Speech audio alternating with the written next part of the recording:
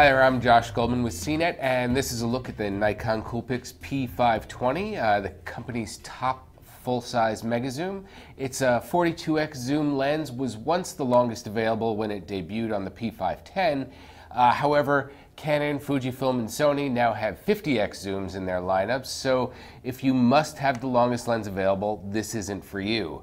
Uh, that said, the 24 to 1000 millimeter zoom is plenty of range, and I doubt you'll be kicking yourself for not going with another model. Well, not for the zoom at least. The camera doesn't have some higher end features like a hot shoe or mic input or raw capture, and you have to have some patience when it comes to focusing with the lens zoomed in. Uh, also, Nikon removed the button for switching between the electronic viewfinder and the flip out LCD, so you now have to flip over the screen and close it to turn on the EVF. Uh, if none of those things bug you though, this is a pretty nice camera with a lot of shooting options and some excellent photo quality. Even in low light, as long as you don't need to enlarge photos to its full 18 megapixel resolution.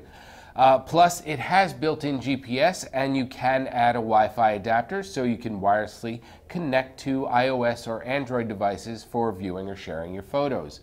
Uh, all in all, a very good package if you're looking for more a point-and-shoot experience than a digital SLR. I'm Josh Goldman, and that's the Nikon Coolpix P520.